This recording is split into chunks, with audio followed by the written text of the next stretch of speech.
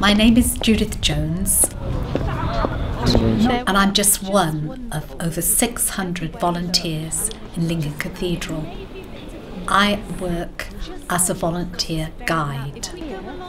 What I find marvellous about the cathedral is the contrast between the epic, the grandeur of the nave, and then intricate details like the beautiful carvings on the pulpit and screen. And you can imagine the medieval carver there in the 1330s inventing these fantasy animals, these wonderful carvings, and then painting them with bright colours.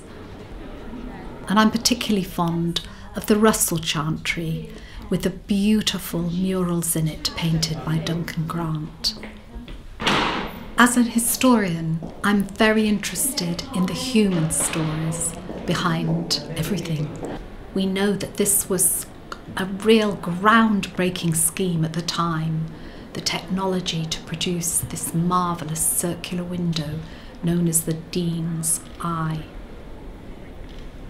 As St Hugh lay dying in London, he was still talking to his masons about the construction of this rose window. When I'm here, I really feel that this is a thin space between earth and heaven. I have a real sense of the legacy of hundreds of years of prayers and worship